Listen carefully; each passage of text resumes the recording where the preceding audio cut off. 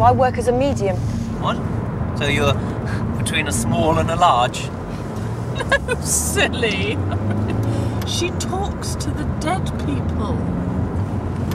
Can you really do that? Well, not directly, but the recently departed leave an aura of love around those dear to them left on the physical plane. Believe that crap and you'll believe anything. I can tell, for instance, that you have a grandmother who's recently departed this earth. That's incredible. Well, what else can you tell us about her?